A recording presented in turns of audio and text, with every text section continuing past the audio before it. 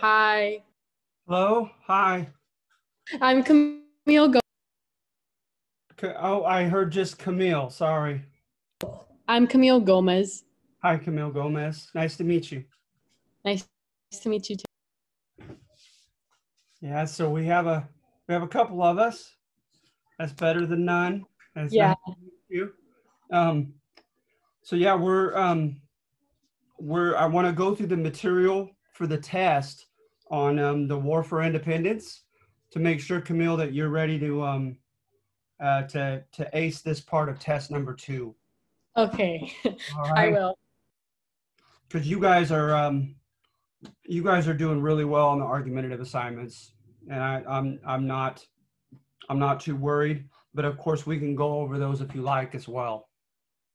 Uh, okay, Okay, so um, so but firstly, before I I start on the study guide, uh, do you have any questions? um, not right now. Okay. I've, I've yeah, I've just been reading and stuff. Good, good. Well, I'm hoping does it do they seem to what my goal is is to have them supplement one another so that you know I if I all I did were the argumentative things, of course I try to to to put in is is arguments that have uh, a decent amount of data in them so that you're actually at least learning some facts along with your argumentative stuff. But if that's all I did, you know, I, I would imagine the students would feel like, well, what the heck? What I want something more linear, like what happened when, what's the the kind of narration of events, right? And so um, I do that with the, the textbook and have you try to gain a, a, a basic command over the narrative of the textbook uh, by reading. And then with the quizzes, I try to go, I try to scratch the surface a little deeper than that uh, to have you guys critically think and also to um, uh, to have anyone who's going to major in history be able to discern where an historian is coming from. So some of my uh, my questions about Brinkley's textbook are interpretive, right? Uh, where I say, okay, what what's his take on this topic? What seems to be his um, his point of view, his his assumptions that he's bringing to uh, the table. Uh, but uh, are you guys finding that somewhat that the that the textbook readings and quizzes and the argumentative are kind of supplementing each other? Yes. Good, thank you. Um, Sandra, right? Sandra Garcia? Yes. Okay, good, good. I hope so. That, that's my intention. I mean, because if I just did a narration of events, then you wouldn't need me. All, all you would need is a textbook. Um, and so that's why I try to, there's kind of a method to my madness when I try to have you guys do a lot of these argumentative pieces. And then, as I often want you to, I don't want to, uh, I don't want to give you too much work, and certainly not that you can't intellectually handle it because you guys are, are acing these argumentative assignments, but just time invested. So I usually ask that you just do one, at, the very most two sections. But I, of course, remember to read all of them, right? Uh, because then, uh, sure enough, there'll be sections that you didn't choose on your assignment, and they will have answers to questions on the test. So be sure to use those as study guides uh, for the test as well, okay? And I'm not proud of multiple choice and true false. Uh, it's kind of passe or archaic uh, as, as far as teaching styles. Uh, but I just, I have so many students that as far as having essay um, tests, it would just get crazy. Um, I have five classes and they literally average 80 to 85 each class. So it's just a long time grading stuff. So I hope you guys understand. And I'm also converting things to online version, uh, which I'm I'm I'm not accustomed to. Usually, I I keep about half the answers to the tests uh, reserved to my lectures. And so anyway, I'm trying to put more of the answers in the argumentative assignments, etc. So are you guys ready to to uh, to go down go down the list of your study guide? Any questions? Okay, so I, I'm gonna take that as as as you're ready. Um, wait, I actually have one question. No, please. Okay, so I'm looking at the calendar, and for me, it says we have two argumentative assignments due on Sunday. Is it only one or is it two due? Oh shoot. Um, you know what? I think I accidentally doubled up on the same one. Uh, do they, they do they have Oh, the same title? Because yeah, you absolutely. I don't. I don't ever have you do two in in, in a week. It's just the War of Independence, right? Yes, that's right. Yeah. Okay, yeah, it's that one. Okay, good. Yeah, sorry about that. Um, yeah, I, I think it was an older uh, an older one. I don't know what happened, but I, I seem to have doubled up on that, and I apologize. But absolutely, uh, at, at most, what I give you in a week is um, an argumentative assignment and a quiz. But but yeah, not two argumentative assignments. All righty. Anybody else? Okay. So um, looking at number, the, the first few numbers, okay, uh, they come right out of um, this argumentative assignment that you guys are doing this week. Let's see here, uh, one through eight. So one through eight on your study guide for test two are literally found within that packet of the, the argumentative assignment of the War for Independence, okay? So um, with number one, um, has anyone read the intro yet? Uh, anybody want to take a crack at number one with historical context? Remember, context is just relevant surrounding circumstances, right? So, what's going on? What was going on just prior to the War for Independence that we ought to consider uh, relevant in, in the sense that it may have um, had some kind of influence on it, right? And so I write number one. I write. I wrote that in the intro. Uh, anybody?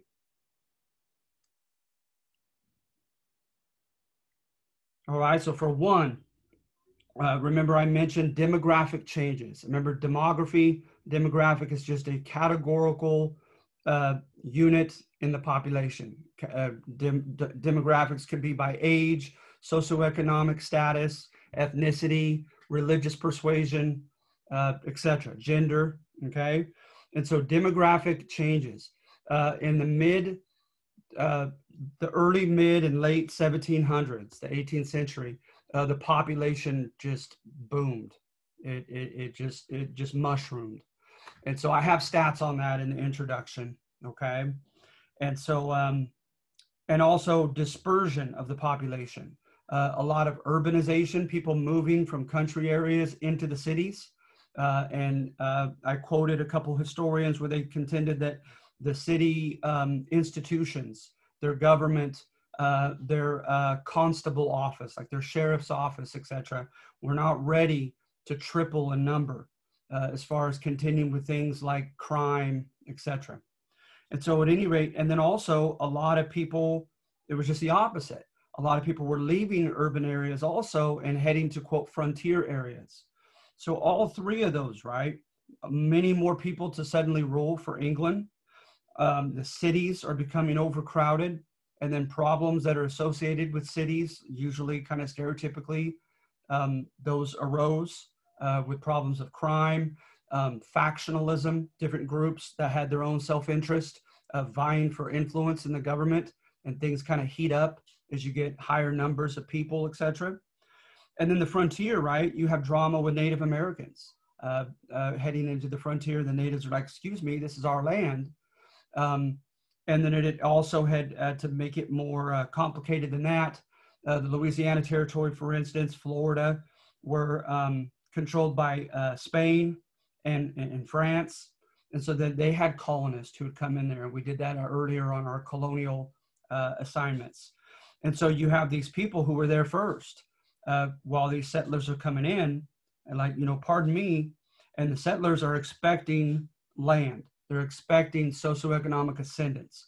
They want to squat on land. They want to become cash crop farmers and make a living and, and improve their status. And so, for all those reasons, right, England might consider at the end of the French and Indian War, you know what, we need to restore some order in the colonies. We need to put more of our attention and our royal bureaucracy needs to uh, needs to uh, clamp down a little bit on these on these 13 colonies. All right. Um, a, a, second thing that I mentioned, as far as relevant context, according to many different historians from different schools of thought, is uh, political ambiguity. And I give examples of how English common law is, is a combination. It's an amalgamation of several things. It's uh, traditions. It is laws, of course, made by Parliament. It is edicts made by uh, kings and queens. It is decisions made by judges. And the combination thereof, it becomes English common law. So they don't have like one written constitution. Uh, they didn't have that. And so, uh, so the point being is that when when your political system is that messy, right? Uh, there's more room for disagreement. There's more room for differences of opinion and differences of interpretation as to what constitutes English law and what doesn't. Please, someone have a question? All right. So, for instance, right, what about these English men um, who move here to the colonies, right? And so they had um, judges had made decisions uh, according to bloodline and saying that, uh, okay, if your dad, your father was an Englishman and you're born here in the colonies, you, you, uh, the, the, uh, the kingship of the father passes to the son, right? And of course, women are not included nowhere near yet. And so uh, some people thought, okay, then uh, by those decisions, then any man, any young man who uh, born here in the colonies, but his father was born in Britain, in England and in England and or Scotland, right? Then he's automatically entitled to citizenship according to those those uh, judicial decisions. And then others contend, right? Uh, there was another one where uh, someone was born in Scotland, and Scotland technically had been under Great Britain after 1707. And they said, well, they're in the British realms. They're not. They don't have to be in England proper. And so this young man is a citizen. So some people look to that. And, and Benjamin Franklin did his homework and he looked at these judicial decisions in the past and said, well, according to this, any of us who are born of English fathers are citizens. According to this other decision, any of us who are born in the English realms, including which includes the 13 colonies, are automatic citizens, as of course white men, property owning men. And so, um, and then thirdly, uh, you had different charters. Uh, some charters were given to joint stock companies, like com- uh, businesses. Some were given to proprietors, like William Penn is a one-man ruler. And then some were uh, royal colonies, where they was directly under royal control. Well, in three or four colonies, it was stipulated in the contract, in their their um, the contract to to colonize, stating that you shall have all the rights of Englishmen uh, if you should decide to go there. And of course, a lot of it came down to favors, politics, and money, right? Trying to lure as many laborers as possible over to the American colonies. Um, some people use the term safety valve thesis, that when at, at times when England was really having a lot of um, combustible uh, protest back in England itself, that there was kind of this um, this subconscious or secret desire by the government to get rid of the undesirables, to get rid of the poor, the criminal classes, etc. Right? And of course, they tried to do that in Rhode Island. By the way, it was a penal colony shortly. So at any rate, the idea was is by all means we're going to encourage these joint stock companies and these proprietors and these royal governors that we appoint we're going to encourage them to lure as many of the poor and ambitious here in england out of this country as possible so the point being, right, with the second part of context, the first being demographic changes made England want to clamp down on us in 1763. The second one, right, being that um, the uh, the political status of of white English men was ambiguous. It wasn't clear. It was messy. So it's going to leave room for us to disagree with Parliament and the Crown. And that's exactly what happens when Benjamin Franklin travels across the Atlantic and has debates with Parliament as far as the subjectship, is the term they used, the citizenship, basically, rights and status of our men here in the colonies. All right, any questions on that? All right, and then thirdly, because I felt like it could have gone on forever as far as uh, relevant context, is I just generically entitled it um, stressors, basically, right? So that's the third part to that question number one I need you to know for the test. Demographic changes, then political ambiguity, and the third one are just stressors. Uh, events that happen that put stress on the British Empire, just that generically. And so the French and Indian War, uh, Queen Anne's War, King George's War. Uh, there were several wars in the 1700s uh, and, and, and changing of the guard uh, from, um, from the liberal uh, Whig Party, WHIG, to the conservative Tories, T O R I E S. And so you had stressors back at home. Uh, you had people, a lot of um, building political strife in England itself. Uh, you could look up a guy named John Wilkes, uh, W I L K E S. Uh, he was kind of a rabble rouser, uh, said that there were too many rotten districts or boroughs in England that were not well represented by someone whom they had elected into parliament, and said he was going to change a lot of things once he got into parliament. Well, he won overwhelmingly in his borough, his district, but Parliament and the king would not even let him be seated because they claimed that he was, um, in one way or another, had indirectly promoted the violent overthrow of the English government. You had people, um, guys named uh, Gordon and Trenchard, uh, T R E N C H A R D. Gordon and Trenchard had a, um, uh, a news article called uh, Cato's Letters, and they were always abreast of what the government was doing that was corrupt, especially King George III, and they would um, they would highlight it. They would highlight it, and um, so so that the English Parliament and Crown decided to crack down on their amendment on their freedom of of uh, of the press, uh, claiming they were guilty of of libel, of written slander. So they had to go on the run. They were about to be arrested several times, and so at any rate, that was another stressor was political instability back in england itself. All right? And then also drama by the end of the french and indian war uh, the um, the sentiment amongst the tories the conservatives that americans did not and had not pulled their weight in the french and indian war. That here the british were fighting uh, out of the area of pittsburgh to detroit and down the Mississippi along the western frontier of the 13 colonies. They were fighting against the French with these strings of forts, right? And they were contending that they were going to uh, liberate that area from French control so that the colonists could go and settle there and be safe from, from French uh, encroachments. And that, of course, they made the argument that the colonists would enjoy and knew that they would enjoy more freedoms and opportunities under Britain than they would under France. And so, hence, they contended that they weren't just fighting for power over North America uh, against the French, but they were also fighting uh, that that um, it was to the benefit of the colonists uh, for them to fight and win this war.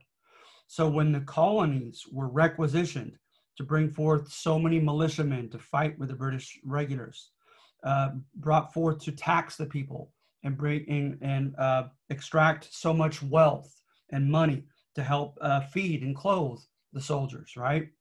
Not a single colony met its quota, not a single one. A matter of fact, in many cases, in the vice admiralty courts, the vice admiralty courts were like the highway patrol connected to the navy, and they were to enforce the uh, the trading restrictions. They caught a lot of Americans smuggling things to the French Caribbean during this war. So how dare us, right?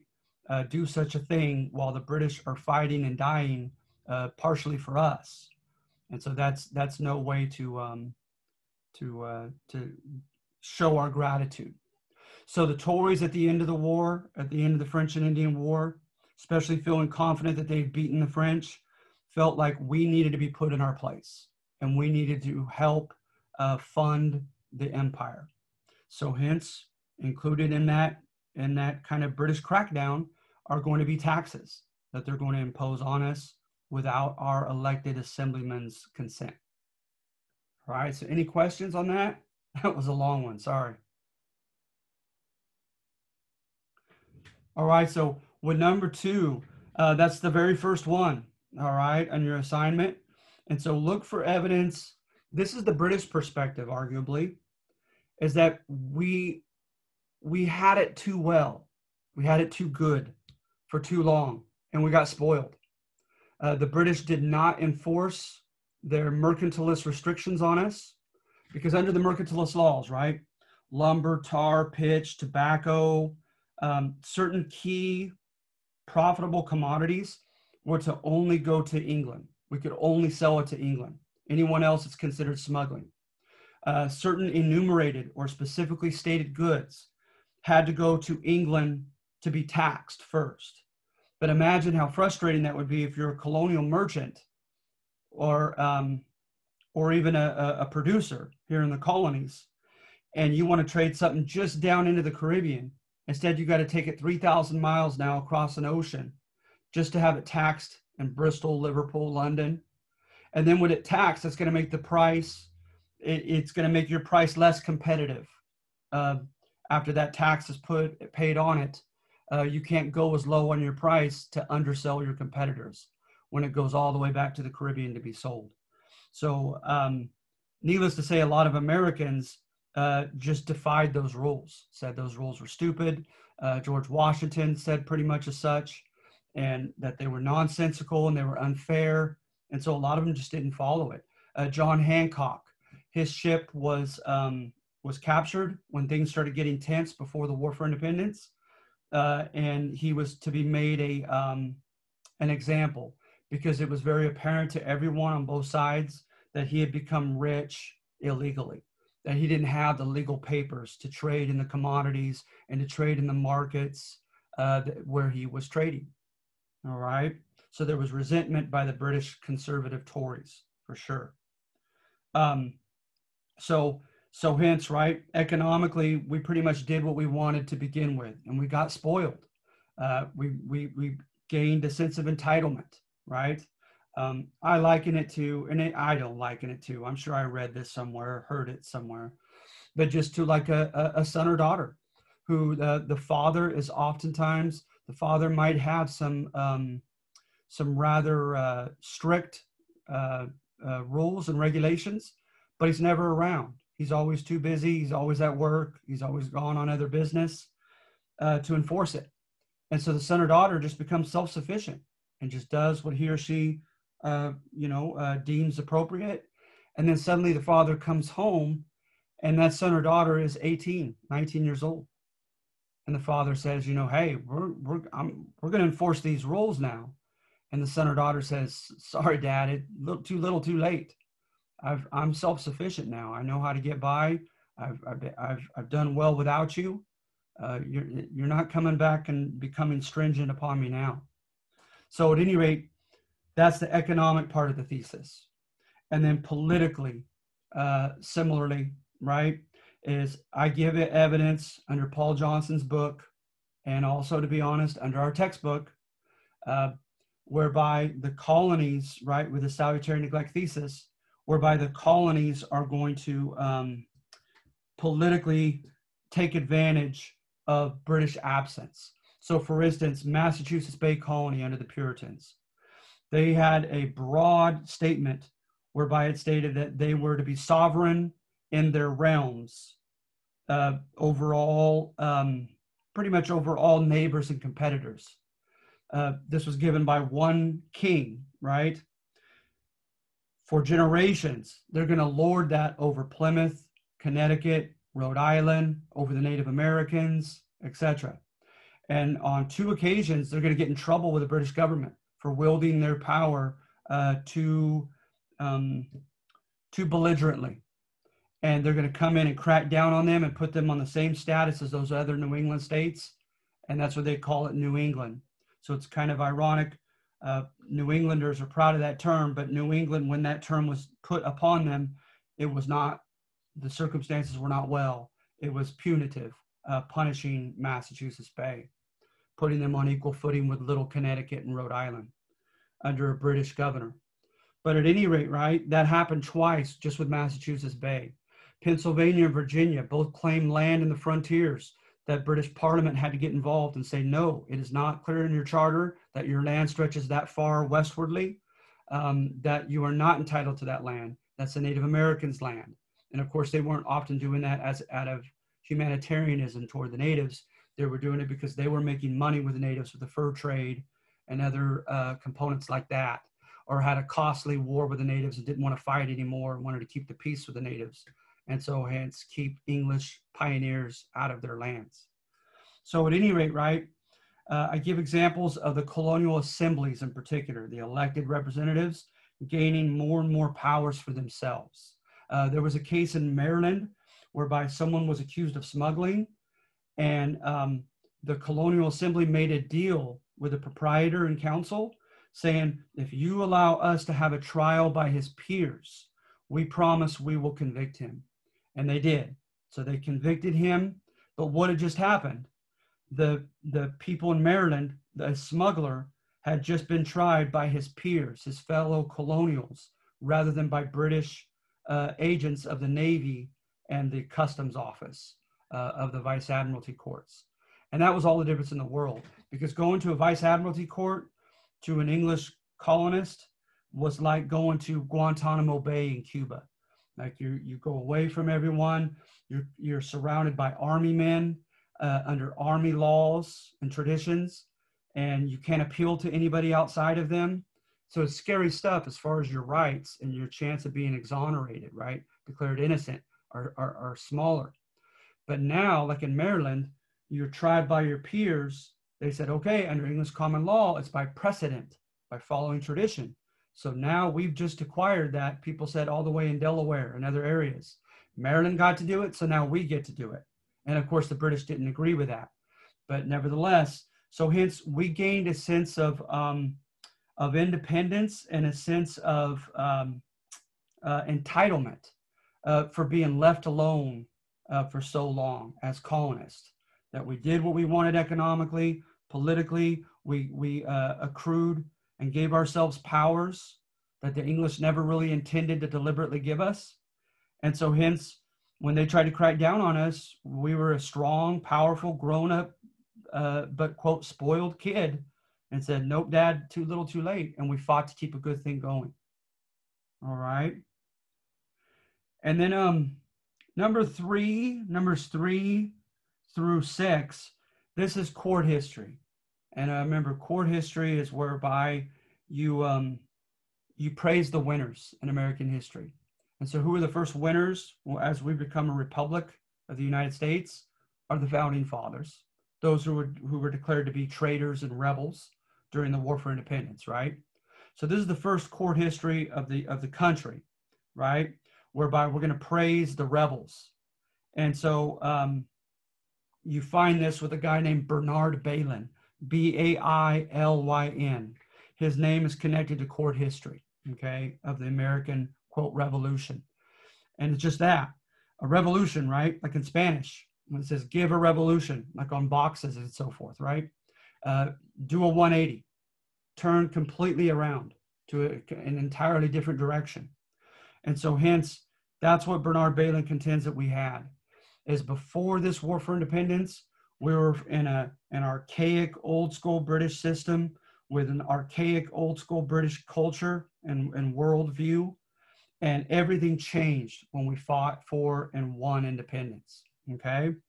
And so, for one, right, it, it really emphasizes uh, the role of ideas that Americans uh, imbibed, they took in certain ideas that were circulating in the world at that time and they were they were changed by them. They were influenced by them. They were inspired by them right?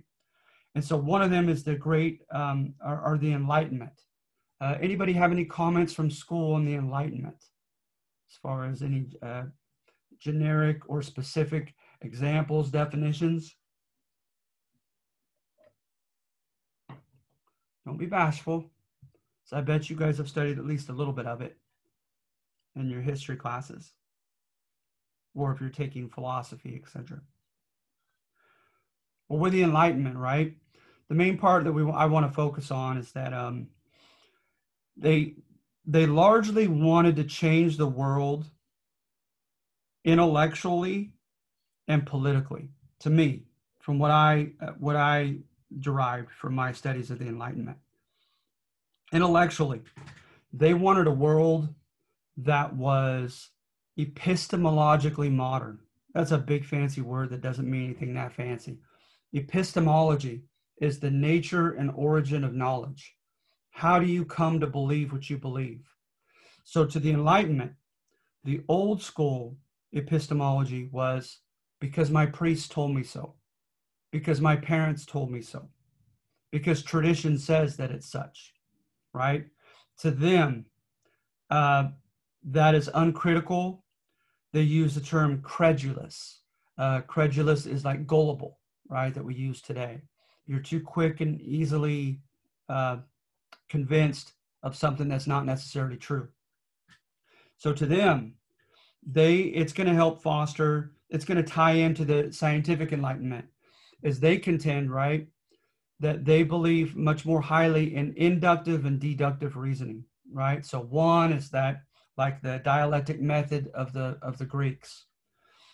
People tend to be people do not need to learn how to feed themselves as children, right? So people are inherently, uh, uh, they have an inherent drive for self preservation, right? And then they'll say another uh, axiom, another assumption, in addition to people being selfish, right? Uh, let's say they say that um, people do not like to feel constrained and have their freedoms abridged or, to, or cut short from them, right? So therefore, C, right, is we we ought to have a government environment. We ought to have an economic system whereby people are free to pursue their own self-interest. According to A, people being not even learning, happen to be taught how to take care of themselves and as, as a natural instinct. And also, they ought to be have a, a relatively free government in light of B, because people don't like to be constrained and so that's that's the Gre- that's the Greco uh, deductive reasoning, or is it inductive? I always get the two mixed up. I apologize, but that's one of them. Okay, and then the other one is basically the scientific method, is that you're supposed to suspend all judgment, assume nothing, right, except for perhaps try to have forth a, um, a hypothesis, test that hypothesis with certain constants and one variable set aside at a time uh, measure, observe, experiment, right? Gather the data, the results, and make a logical conclusion about those results. So the Enlightenment was for that, right? They wanted a more modern mind, a more mi- modern mindset that we live by, because they believed that everything in the world, a lot of them were deist, D-E-I-S-T, is they, they a lot of them did not believe in the Judeo-Christian God. They believed in, in a clockmaker God, so to speak uh, a rational deity who's kind of aloof and uninterested and disinterested in what mankind is up to or suffering but he established all everything by natural laws that could be discerned by science and by reason and logic etc right and so to them um, that which is rational that which is logical that's what it's that which goes in line with natural laws is better is healthier right? Because it, you're going by uh, the purpose of the of the creator of this deist creator. So hence they contended that being tyrannical over other people. They looked at rousseau right and jean-jacques rousseau and he said man was born free yet everywhere he ironically is in chains right? And so that the natural state of man made by intended by our creator was to be free right? And they call it like in the state of nature before government was was derived. Uh, uh, Jean-Jacques Rousseau and other writers postulated that people were free. They were nomadic, wandering around, hunting, being preyed upon, preying upon other things, but they were absolute and personal liberty and a state of, of freedom, right? And that that's the natural state we ought to be in. Um, not that entire state, of course. Under a government, we are to have as much freedoms as possible. So at any rate, going to the Enlightenment is these writers, right? Um, Voltaire, right? A woman who followed Voltaire famously said, I disagree with what you're saying, but I defend to the death your right to say it. And a lot of people say that encapsulates Voltaire, uh, her, her, her, the guy that she that she followed, is he was all about intellectual freedom and freedom of, of expression. Uh, he was very iconoclastic, right? Remember, iconoclasm is that you want to smash things that society holds to be sacred. So, like uh, South Park, uh, South Park cartoon is very iconoclastic, right? They take advantage of of um, of ridiculing and doing ironic parody on anything, however sacred to society, right? Christianity, uh, uh, all kinds of things. Anyway, so um, you have Voltaire. So in some ways, some people believe Voltaire indirectly helped lead to our First Amendment, right? The freedom of expression, etc. You had some who contended that uh, the rights of suspects, that the key to our preservation of our freedom is not being able to be um, victimized by a police state, right? By uh, very um, actively involved and um, intrusive police force that, that gets into our property, our business, uh, doesn't give us a right to, to, uh, to defend ourselves in court, etc. right? And I would largely think of one guy on that, uh, uh, Beccaria, uh, B E C C A R I A. So Beccaria, an Italian guy, he wrote on that. And a lot of people believe that Beccaria was very instrumental in our fourth through seven uh, amendments to our later Bill of Rights. All right. And then, of course, um, you had the um, the classical liberals and or the Whigs. Well, I don't want to get to that yet. That's a se- I separated those. I apologize into different questions. So with the Enlightenment, right, you had the notion of the social contract and natural rights. So go ahead and please write that down for number four on your notes uh, for test two. Because with the Enlightenment, it brought forth notions of natural rights and the social contract. And the social contract is as if imagine if we went as a class on an airplane to uh, across the ocean and we somehow miraculously lived through a crash but were marooned on an island and we started off in a quote state of nature uh, each each man and woman for him or herself but then we start finding right that we do a cost benefit analysis and say okay i love my freedom to do what i want from day to day here on this island but i'm progressively hating the fact that i'm feeling more and more anxious because there are a handful of bullies in our class who are taking our stuff, who are stealing our stuff while we're sleeping, taking our cell phones. Uh, um, maybe some of them are, are uh, extorting, coming to some of you and saying, uh, I want you to fish for me or hunt for me, or else I'm going to do this. And they threaten something to you, right? So, according to these writers of the social contract, like Rousseau and Locke, is they're going to contend that this is their postulation of how government began and what the purpose of government originally was, and we ought to return to that original purpose. So, to them, right, they contend that government was a necessary evil, that people were enjoying their natural state of freedom, but it became at the expense of danger because some people inevitably, with human nature, are going to um, they're going to um, uh, abuse their freedoms, right? So, hence, government is a necessary evil where we get together and say, okay, guys, let's elect about five to 10 of us uh, amongst ourselves to be our own rulers. They'll rule with our consent. As soon as they stop doing their job well, we'll fire them and hire five or 10 more people to do the job, right? But their sole job is to protect our rights. They're basically to be our protectors of, of our freedoms. They're to protect us from getting our cell phones stolen in the middle of the night, from being extorted to fish or hunt for someone on this island, right? Uh, to, to uh, have our persons protected from being beaten up or worse. So, at any rate, that's known as a social contract. And they said that because they they um, they deduced that that likely was the origin of government, that that is likely the natural way of doing things, and that's the way we ought to return to. So, hence, right, King George III doesn't have power to just rule over us arbitrarily. Parliament doesn't have a right to speak for us on our behalf.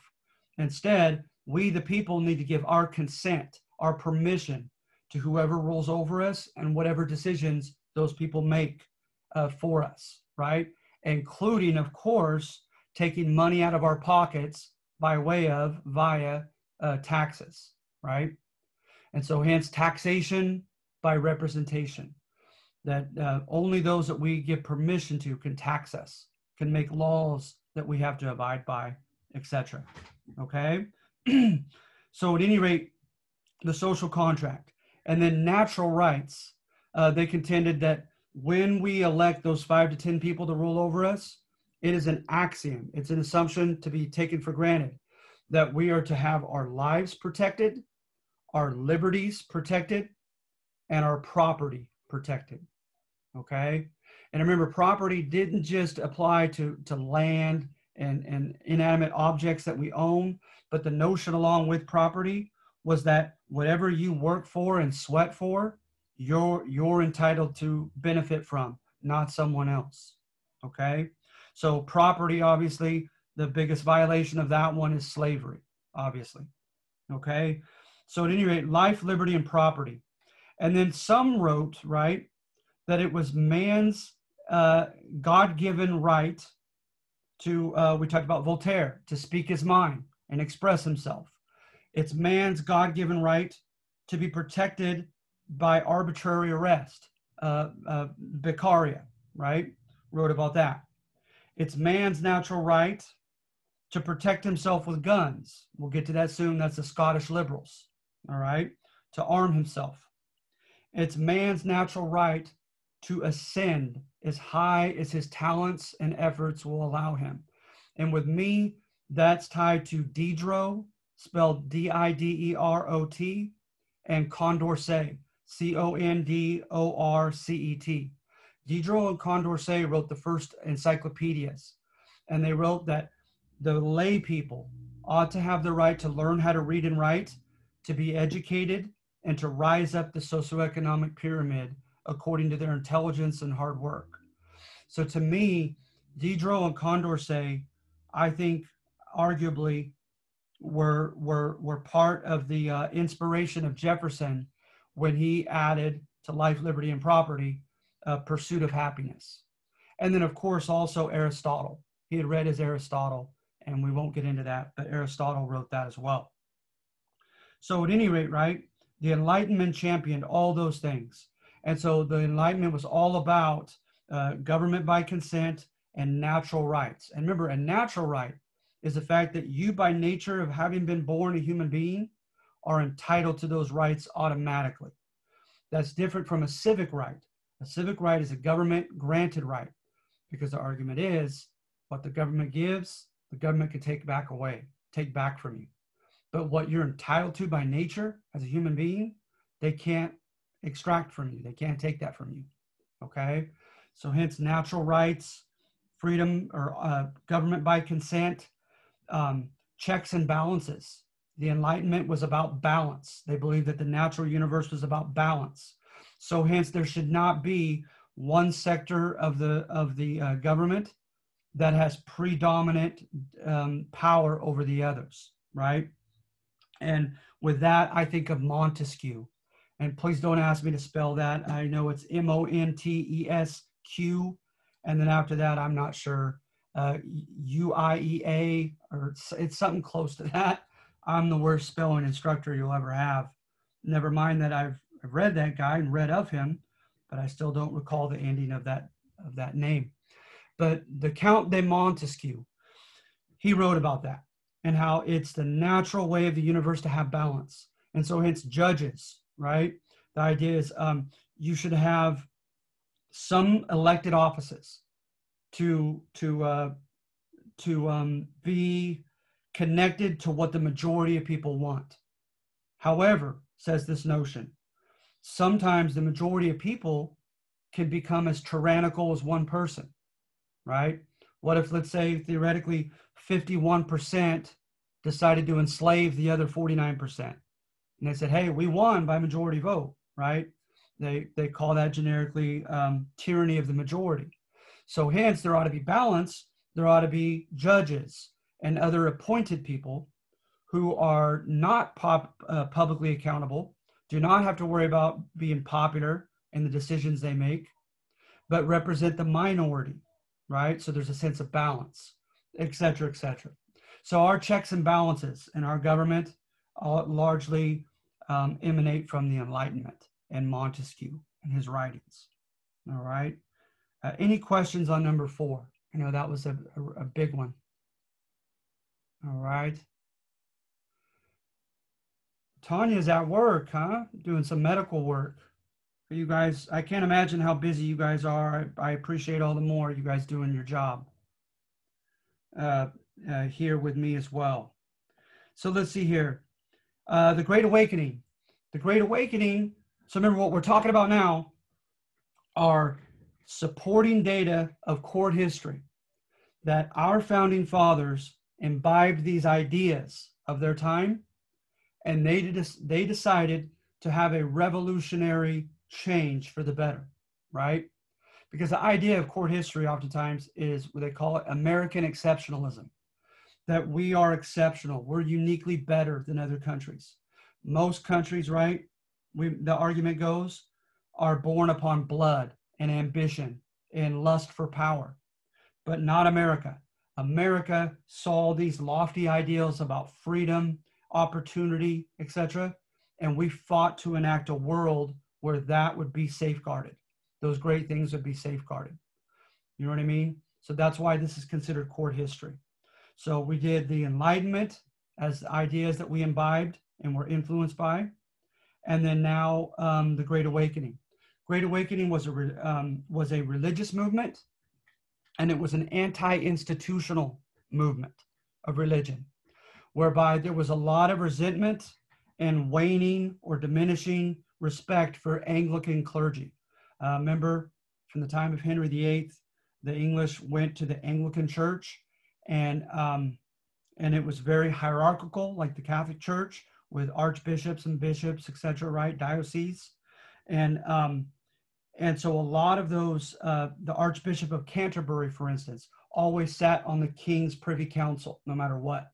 So there was a connection of church and state clearly, and so the Anglicans um, their, the complaint was the Anglican priests and bishops and archbishops had become too worldly, too corrupted with power, too involved in vicious politics, instead of sticking to the Bible and the gospel and preaching uh, Christianity to their parishioners, right? And so, hence, the Great Awakening is going to advocate or support nonviolent civil disobedience against the Anglican clergy, saying, if you are convinced that your leading clergyman in your area of the nine colonies that were royal, they automatically had Anglican Church as their official state church. But in those uh, colonies, right, if you believe the Anglican clergy is going away from what God wants, then you have every right to defy them. Uh, go and form your own church. So, um, hence the Methodist, the Baptist in particular, right? they're going to be these new uh, visualized as democratic Christian denominations where they're going to branch, break forth and branch off the Anglican Church, off the Presbyterian Church, and off the Congregational Church, the three official churches uh, mo- almost everywhere in the colonies. And they're going to have uh, preachers who are uh, elected by their own, although the, the Congregational did that with the Puritans, the Pilgrims, right? but that was the exception. They're going to elect their own officers or, or, or preachers. Uh, their preachers do not have to have a PhD in divinity or theology from Cambridge or Oxford or Harvard, uh, Princeton. And so it was a very anti-institutional movement where it was, they said that your, your, um, your relationship with God is to be less formalized. Uh, talk to him while you're out riding your horse uh, and so hence they would have these tent meetings and these open meetings out in the open away from churches where you'd have your own relationship with god have your own experience with christ or the holy spirit etc and so the great awakening some people believe um, at this time just before the war for independence had an effect that if you could believe that you could righteously stand against your own preachers right um, then it made it all the more easy to rise against your own royal governor and, and, and the British government. Okay? So civil disobedience with a great awakening, namely. And then number six, the Whigs. The Whigs were old school liberals, not today's liberals, all right? Old school liberals were libertarian. And remember, libertarian to me is like that that um that flag or whatever that set, has a snake and says, uh, "Don't tread on me." If you're libertarian, you supposedly have a very um, wary suspicion of government. You believe that there is, um, I, I, don't know, like uh, perhaps Lord of the Rings or something, like with the ring, uh, that there is a deadly combination between what lies within human nature and power. That something inherently in us as human beings cannot handle power. Uh, we become insatiable. We can never have enough of it. Uh, Jefferson wrote to John Adams when they were having their debate with one another um, in, in correspondence. He said, You know as well as I that we would become wolves if the people let us. And that was admitting to themselves, right? So, how much more do they think that was true with the British? That anyone would become a tyrant if you let him or her be such, become such. So, hence with the Whigs, right? They wanted government to stay as small and unobtrusive into your life and my life as possible. And so, what they believed, uh, incidentally, from that, is that government ought to stay small and localized, that you ought to largely be, uh, be governed in your own locale. Uh, here in the mid, the Central Valley of California, for instance, kind of govern ourselves as much as possible. And that um, there ought to be a, a loose confederation of our region here, then the regions further up northern California, then Southern California. We ought to have a loose confederation whereby the Southern Californians never have enough power to lord any decision over us here in the valley, that we're largely under our own elected reps here of, of the valley here with us, right? And so hence they also were for confederacies. And to me, confederacy is just whereby every locality is almost sovereign, is almost autonomous, is almost independent, but just with few a few um, exceptions. Let's say there's an invasion of California, then that would constitute an emergency, and Southern and Northern California would have to unite with our government and even perhaps dictate to us what to do militarily. So, with just a few exceptions, right? Uh, these libertarian Whigs were for um, decentralized, localized, elected government. Okay. also, the Whigs, they praised the common uneducated person. What they thought was, and Thomas Jefferson is going to contend this himself, is that whatever the common person gets wrong out of ignorance shall never be as detrimental to our freedoms as what an educated man does wrong morally and does it deliberately with his eyes wide open, who knows full better, who's not naive about political science and government, right? And so, to a lot of people, uh, they they thought there was a, a, with a Whig party, they thought that there was sagacity, right? Like I use that term with John Smith in court history, a lot of worldly smart intelligence, common sense that the average person brings to the table to government. All right. And so to the Whigs, they believed you cannot start a domino effect of infringement upon our freedoms. The idea was that governing authorities are no dummies. They'll start by just claiming emergency powers and claiming they need to just take one small freedom away from us and infringe in our personal space just a little bit. But to Whigs, right, I think you know where I'm going with this, don't tread on me libertarian rhetoric, as they said, once the devil is at your door and you open your door even a little bit and he gets even a foot inside, he's coming in there to stay. He's going to do it by increments, by steps, but he's doing it in a sly fashion. So, hence to Whigs, right? Uh, Parliament taxing us without letting our elected reps give their permission to it the the taxes themselves, like the stamp tax, was like what it was it like a quarter of a pence, like not even an eighth of a penny. It was very cheap even for back then. It was not what they use the term onerous. It was not burdensome and, and causing us to become poverty stricken by any means. But under Whig rhetoric, right, it's the principle of it. We don't care if it's half a penny. If they're doing, if they're taxing us half a penny without our permission today, what are they going to do tomorrow and next year and the year after that? So to Whigs, right, everything was uh, symbolic. Everything was um, was uh, it's centered around uh, precedent, beginning in a beginning example of things to follow. Okay, and so hence uh, the idea, right, uh, with your Second Amendment, with the Whigs, right, is that I may not need an AK 47, but on principle, if the government wanted to declare martial law against us as civilians, we need to be armed with weaponry that theoretically can help us hold our own against our own military. Which, of course, to a lot of people today, they laugh about that, right? Because we're not going to have nuclear weapons or anything like that, like the government has. But that was the principle of the Whigs, right? Don't tread on me.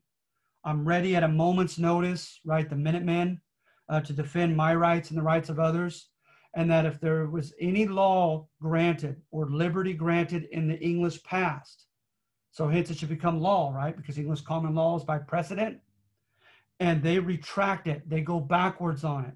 Look out, tyranny is coming sometime down the road. All right. So they're claiming, right, to fight over any infringement of our rights based upon principle. All right, let's see here. So then also, um, Number seven, Joseph Ellis's book on George Washington. When you look at that, you'll see it in the title, okay? Is look for evidence that the founding fathers were at least partially led by self-interest, all right? Uh, with, with, with this number in particular, look for evidence of George Washington's ambitions being thwarted. He tries to rise up in the military and see what happens to stop him. He tries to make money as a cash crop farmer and see what frustrates him and takes away from his profits. Okay?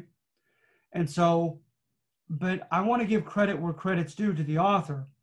Is Joseph Ellis, his biography on Washington, he's not just simply claiming that it was sour grapes, although he does believe a lot of that was included into the into the truth of this this situation.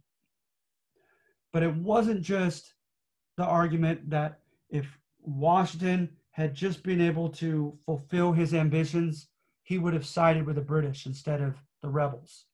That it was just sour grapes. He was mad because he couldn't do what he wanted under the British. And that was his selfish reason for rebelling. But I think there's more to it than that. Is Ellis, and I don't know how well I conveyed it in the write up, but Ellis also conveyed the fact that to Washington, there was nothing wrong with him wanting to um, to uh, fulfill his own ambitions, and that there ought to be a, a society, a government, an economic system whereby not just he, George Washington, but everybody else as well ought to be free to pursue his or her own self-interest, right? And so that I, I want to give credit where credit's due and to the author and to Washington himself, so that it, it's not just critical of George Washington. All right. Howard Zinn's thesis, I don't know on number eight how you could see anything other than critical on this thesis. A very cynical, negative look at the war for independence, right? Look for evidence of the US, the American colonies constituting many different factions. A faction being a group that shares the same self interest and perspective and worldview, right? So you have the poor artisans, the poor skilled workers who were trying to get by. You have the indentured servants who were trying to get by. You have the slaves, of course. You have the small uh, subsistence farmers who were just growing their own food just to survive, just to, to, to cultivate what they could live off of and eat, right? You had the merchants trying to sell one thing from one place to another market, right? And that hence they all had their own agendas they all had their own uh, perspectives. And um, so when the war breaks out, right, there's the notion that the specific demographic of the founding fathers, if you fast forward to the Constitutional Convention, right, like what was it, like 51% of the, um, over half, over half the founding fathers, right, were uh, in positions that were considered the intelligentsia, those who were in their positions by virtue of their education. Uh, lawyers, a big demographic amongst the founding fathers, right? Um, uh, well to do merchants, right? Uh, writers and newspaper journalists, etc. Uh, professors uh, at the big universities. So, at any rate, when you look at the real world, right, uh, outside that convention, then those who were college educated were less than 1%, fewer than 1% for sure. Okay.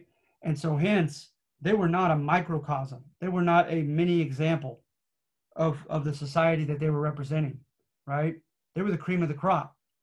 So, hence, to Howard Zinn, these founding fathers, when they saw the regular hoi polloi, the regular commoners, engaging in protest and, and feeling rage in a sense of class warfare against the, the, the well to dos, that they didn't want to become a victim themselves to the poor's wrath.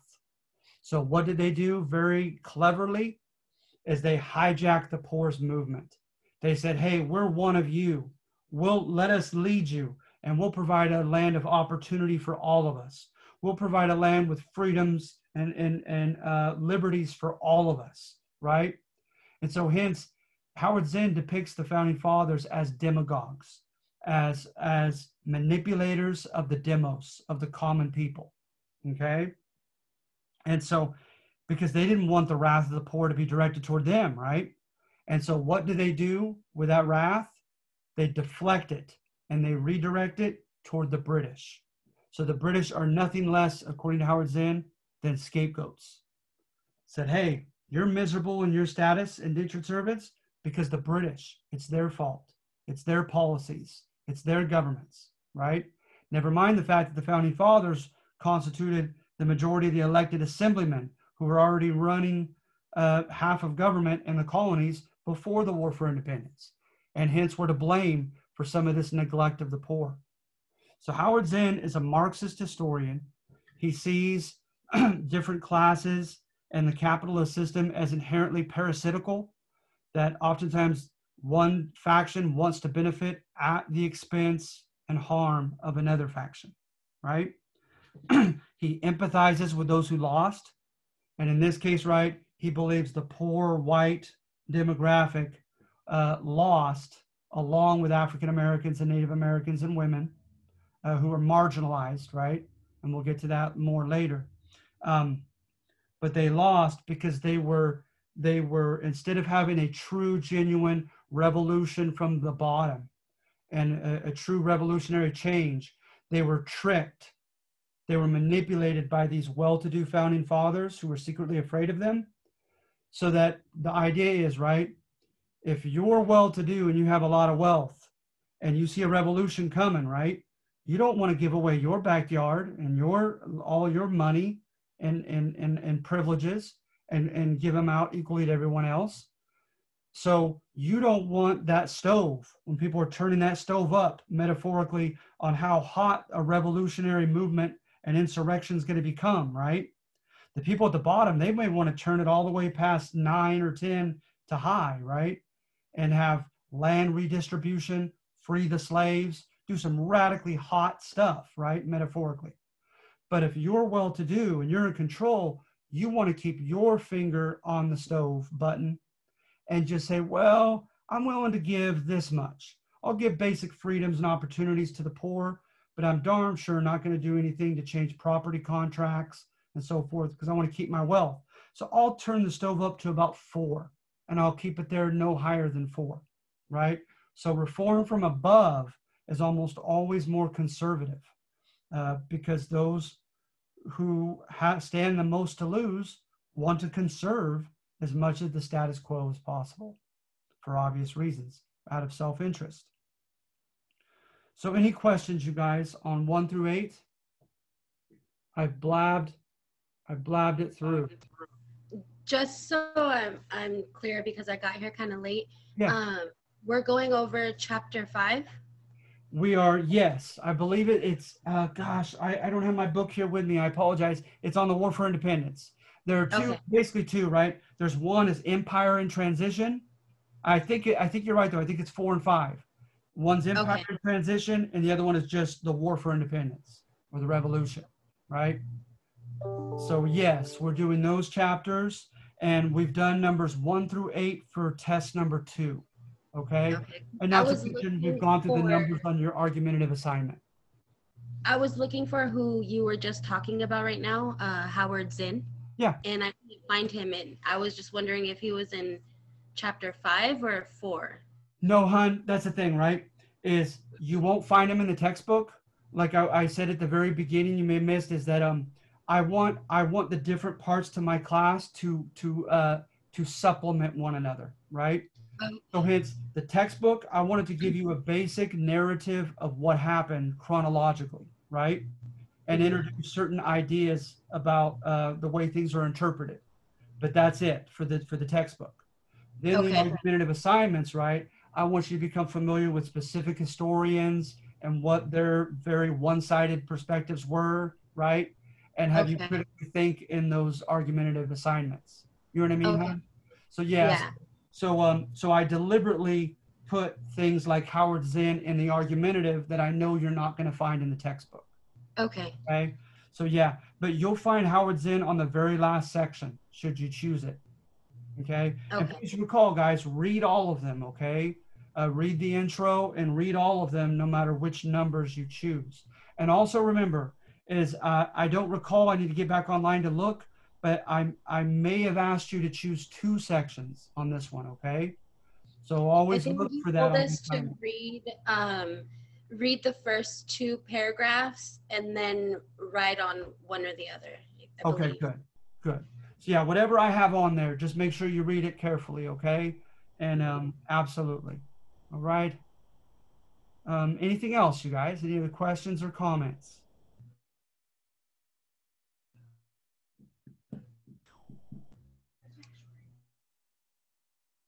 You guys feel pretty confident in, in your your argumentative assignment for Sunday and on numbers one through eight of your next test? Yeah. Yeah, good, good, good. Everyone else, can I can I interpret your your your silence as as a good thing? Yes. Okay, Yeah. Good. Good. Thank you, Lisette. I appreciate that. All right, and so that's how I feel like is my job. Okay, is to try to get you guys to critically think, get you guys to learn the basics of U.S. history, and then uh, when I test you on it, to have moments like now uh, to make sure that nothing falls through the cracks, to make sure that we're all on the same page about what we're reading and what we're studying and so forth. And I, I honestly do not say this um, uh, disingenuously. You guys are so intelligent. You guys, uh, I, I really look forward uh, to reading your um, your argumentative write-ups. You guys are are nailing these things. You're doing very well. All right.